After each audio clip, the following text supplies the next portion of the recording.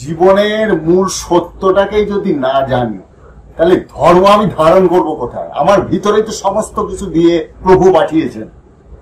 সে প্রভুকে জানতে হবে, প্রভুকে দেখা যায় না, অন্ধকার, নিরাকার। তা আমার তো এই চোখে অর্থাৎ এক ফুট দূরে দূরেই কিছু দেখতে পারি না। তো তাকে আমি জানব কি করে? আমার ভিতরে যে অহংকার বোধটুকু আছে, সে অহংকার যতক্ষণ না ত্যাগ করতে পারব, ততক্ষণ তাকে জানা যাবে না। যেটা মায়া মায়া শক্তি মহামায়া শক্তি সারা পৃথিবী বিশ্ব ব্রহ্মাণ্ডে যেটা আটকে ধরে আছে। পৃথিবীতে যে শিশু আজকে জন্ম নেবে, কালকেই তার মৃত্যু। সেই মৃত্যুটাই হলো মূল সত্য। হবেই এবং প্রতিনিয়ত হচ্ছে যেটা। আজ এই মুহূর্তে যেটা ঘটনা ঘটে যায়, সেই ঘটনা শুনে মানুষ অস্থির। ওরে বাবা, এটা হলো কেন? আমার ভিতরে যে সবকিছু, আমার ভিতরে ধরো আমি খাবার খাচ্ছি।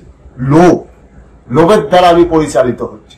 কিন্তু আমার লোভটা কেন হচ্ছে আমি উপলব্ধি করলাম না? তো লোভটাকে যখন সংবরণ করতে পারলাম না তখন লোভই আমাকে খেয়ে বসল উল্টা। আমি তখন কুকুরের মতো খাচ্ছি হাবলা হাবলা করে। আমি যে সংযমী ওই যে সৃষ্টিকর্তা সংযমী করতে বলছে প্রত্যেকটি ধর্মের ভিতর দেওয়া আছে সংযম হও সংযম না হলে জম ধরবে জম হচ্ছে রোগটা। এই রোগটা আমি উপলব্ধি করতে। খেয়ে করি বাবা আমার পেটের ভিতর গ্যাস হলো। আমার সমস্যা। কে বাবা? ওই জায়গা কেন ভালোবাসি? তো খোদা বা প্রভুর ভালোবাসা তুই নিলি না কেন? তার তো বিধান দেওয়া আছে, সত্যটা জানার জন্য। যে উপলব্ধি করো, তোমার নফসকে চেনো।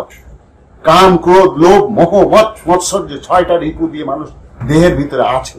প্রভু দিয়েছেন সেই শক্তি। সেটা হলো শয়তানি শক্তি। সেই শয়তানিকে শক্তিকে আমি নিয়ে বসে আছি মাথার ভিতরে। আগে আমি শয়তান হলাম। মায়ের কোলে ছিলাম শিশু আর হয়ে গেলাম এই পশু জগতের মাঝে।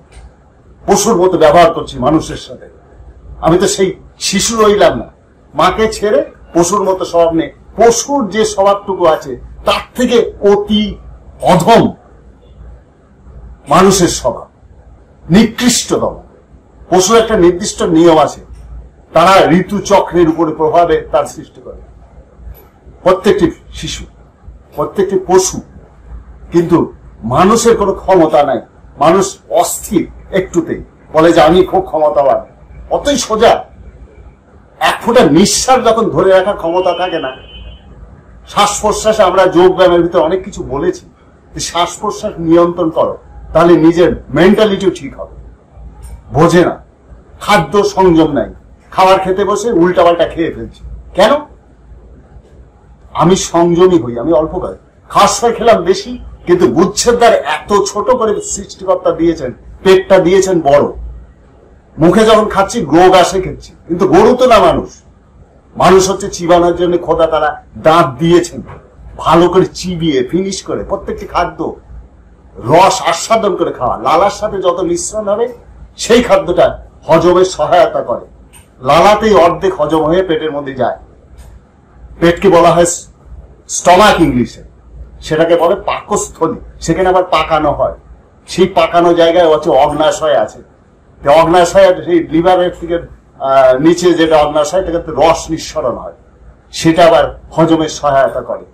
এইভাবে আস্তে আস্তে নিচে দিয়ে যায়। এবং সেই প্রত্যেকটি শরীর যদি আমি যোদ্ধার মতো পরিশ্রম না করি, প্রতিদিন না খেয়ে চুপচাপ বসে রইলাম, তাহলে সেটা হজমও হবে না, ইনডাইজেশন হবে, গ্যাস হবে, নানান সমস্যার ভিতর দেখা যাবে।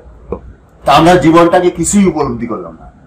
কিন্তু দেহ তত্ত্ব দেহের মূল সত্যটাকে যতক্ষণ না জানছি যেমন দেওয়া আছে চতুর্বিংশতি তত্ত্ব। এই চতুর্বিংশতি এক কামনা বাসনা নিয়ে যদি মানুষ সারা জীবন অস্থির হয়ে বলে তাহলে চতুর্বিংশতি তত্ত্বের মূল সত্যটা জানবে কি করে? মূল সত্য জানার ক্ষমতা নাই। প্রত্যেকটি তখন সাধনা করতে হয়। কঠোর পরিশ্রম, যেটাকে বলা হয়েছে তপস্যা, তাপ উৎপন্ন করো ভিতর থেকে। তোমার ভিতরে তাপ আছে, সেটাকে বর্ধিত করো। সেটাকে পরিশ্রমের দ্বারা। সেটা কঠোরতা, নিয়ম, নিষ্ঠার সাথে সূর্য উদয়ের আগে উঠতে হয় এবং তবেই গিয়ে পরিশ্রম হতে হয়। পরিশ্রম করবে না। দেখা গেল আজান পড়ার সময় আজান পড়ছি, ঘুমিয়ে আছে। আজান পড়ে এসে কে আবার নামাজ পড়েছে আবার ঘুমায়। এটা কিন্তু নিয়ম বলেনি। প্রভু সেইভাবে আদেশ করেনি যার জন্য রোগ শোকও বেশি হচ্ছে। রোগ শোক জ্বালা যন্ত্রণা প্রতিনিয়ত, ওই যে শয়তানি বুদ্ধি মাথার ভিতরে ঢুকে গেছে। শয়তানকে নিয়ে যদি খোদার ঘরে বসানো হয়, তো খোদা নিজেই পালায় দৌড়ায়। তখন শয়তানের অত্যাচারে খোদাই শয়তানের দ্বারা তাকে শাসিত করে। বোস ঠেলা, যে কি ঠেলা আমার। শয়তানি শক্তি হচ্ছে খোদার শক্তি। সেই শক্তিটাকে নিয়ে আরামসে বসে খুব আমি খেতে পারি। অত সোজা না, গোগাসে গিললে হজম হয় না। সংযমী হতে হয়, কঠোরতা পালন করতে হয়, প্রত্যেকটি দিন নিয়ম মেনে চলতে হয়। সূর্য, চন্দ্র, গ্রহ তারকা তারা নিয়ম মেনে চলে, পৃথিবী চলে নিয়মে, সেটা প্রভুর নিয়মে। চন্দ্র, সূর্য, গ্রহ, তারা তার প্রভাবে যেরকম জোয়ার ভাটা হচ্ছে, তেমন শরীরের ভিতরে সে প্রভাব আসে। প্রকৃতির একটা বিশাল প্রভাব। মানুষের ক্ষুদ্র দুপাতা পুঁথি পরে মাথার ভিতরে বুদ্ধি নিয়ে, আমি সারা বিশ্ব ব্রহ্মাণ্ডে সব জান জেনেছি, অত সোজা না। দুনিয়ার মালিক চান, যিনি সর্বশক্তিমান। তার দ্বারা পরিচালিত হয়। আর মানুষ ঠুনকো মাথার মধ্যে খুঁটির বুদ্ধি নিয়ে অস্থির, ধম্ম ধম্ম করে অস্থির। ধম্ম তো সোজা না, ধর্মের ধরা ধরে তারাই যারা ধ্বজভঙ্গ রোগে ভুগতেছে তারা। ধর্মভঙ্গের নিয়ম নিয়ে উনি ধর্মের ধরা ধরে নিলাম আমি ধর্ম মানি। ধর্ম মানা অত সোজা, মূল সত্যকে যতক্ষণ না আসুন মানে ভিতরে গ্রহণ করতে না পারবে তো নত হয়ে থাকতে হবে প্রভুর কাছে। প্রভুর গোলাম, প্রভুর চাকর দুনিয়ার মালিক আমাকে চাকর করে পাঠিয়েছে। আমি তার চাকর, তার গোলাম। আমি সে গোলাম হয়ে চলি, গোলামি করি তার। প্রভু তিনি তিনি সর্বশক্তিমান, সেই মালিকের গোলাম আমি, যাকে দেখা যায় না। তো সকলে আমাকে বলে যে, আমার সমস্যা সমস্যা। আরে সমস্যা তো হবে নিজে সমস্যা করে নিয়েছো কেন? এই সমস্যা বোঝানোর জন্য আমি এত ফোর্সে কথা বলছি তোমাদের। যে সচেতন হও। কেন আমার হচ্ছে? তোমার নিজের ঘরে নিজেই বুঝতে শেখো। নিজেকে আগে চেনো। অপরকে চিনতে যায় না। আমার ভিতরে কি কুবুদ্ধি সেটা বুঝতে হবে। নিজেকে নিজে যতক্ষণ নিয়ন্ত্রণ না করতে পারি, অপরকে গালি দিয়ে কোনো লাভ নেই। আমাকে অনেকে গালি দেয়। হ্যাঁ আপনি কি জানেন? আমি কিছুই জানি না রে ভাই। কিচ্ছু জানি না। আমার খোদা তালা চালান আমাকে, তবে যে আমি বলতে পারি। আজকে আমি কথা বলছি, তার ইশারায় বলছি। এখানে আমার জবান নয়। আমি তো একটা মন, আমি মন নিয়ে এসছি। মনে যে মনের কোনো সেন্স নাই। সেন্সটা তিনি দিচ্ছেন মাথার ভিতরে। আর আমি তো একটা নন সেন্স নন সেন্সকে আমাকে সেন্স দিয়ে দিচ্ছেন। সে ফোর্সটা কোথা থেকে আসছে? জবাব আসছে কোথা থেকে?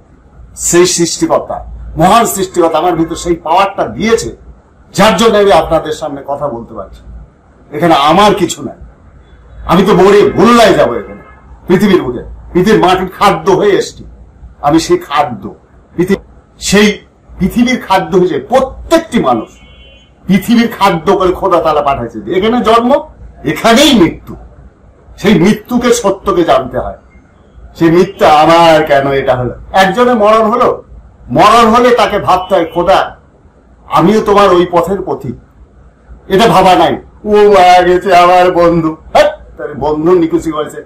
কেউ বন্ধু না, খোদা একমাত্র বন্ধু। আর বন্ধু হচ্ছে রাসুল। আর কেউ বন্ধু না। পৃথিবীর কেউ কারও না। একই মাতৃগর্ভে অনেক সন্তান হয়। দেখাল দুই ভাই। দেখাল ভাই ভাই গন্ডগোলে কেন? মাকেই ভাগ ভাগ করতে যায়। মা কখনো ভাগ করা যায়? পৃথিবীতে এমন কোনোদিনও ভাগ করা যায় না। এদিক থেকে সাবধান হতে হয়। অনেক দাদু ভাই আমাকে উল্টাপাল্টা কমেন্ট করে। এমনকি বকাবকি করে। আরে বাবা, বকে লাভটা কি রে বাবা? তোর নিজের বকা। মানে যে যেখান থেকে সেক্টর থেকে তৈরি হয়েছে, তার স্বভাবটা নিয়ে আছে।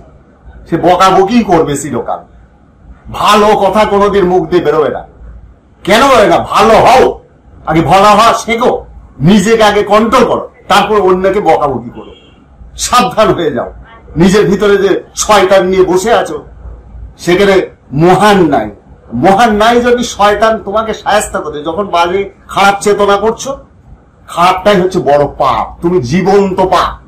জীবন্ত পাপ হয়ে পৃথিবীর বুকে এসছো। অতএব পাপের জ্বালা তোমাকেই ভোগ করতে হবে। আমাকে গালি দিবে, সেই গালিটা আমি নিলাম না। যখন আমি দিলাম না, তখন তোমারটা তোমারই রয়ে গেল কিন্তু। এটা হিসাব রেখো। অপরকে গালি দেওয়ার আগে নিজের মনের ভিতরে আগে কালি ঢুকে গেছে। হ্যাঁ? কালীকে, কালী মানে হচ্ছে পাঁঠাকে বলি দেয়, কালির সামনে বলি দেয়। কি জন্য? মনের কালী বলি দাও। আর পাঁঠা খাওয়ার জন্য বলি দিয়ে লাভ নেই। আচ্ছা আমার দাদু ভাই এবং বন্ধু বান্ধব আমার সবাই আমার পরিবারের মানুষ। তো এই যে আজকে কথাগুলো বললাম, এটা যাদের বেহুদা বুদ্ধি নিয়ে সারা জীবন চলছে, সেই বেহুদাদের করে একটু সচেতন করার জন্য বললাম। এছাড়াও আমার সাথে আমার পরিবারের ভিতরে অনেক ভালো মানুষ আছে। তাদের তাদের জন্য এবং সবার জন্য আমার প্রাণের ভালোবাসা, মনের ভালোবাসা সবসময় থাকবে এবং বন্ধুর মতো আমি ভালোবাসি জন্যে কাছের মানুষকেই তো বকাবকি করি। অন্য কাউকে না।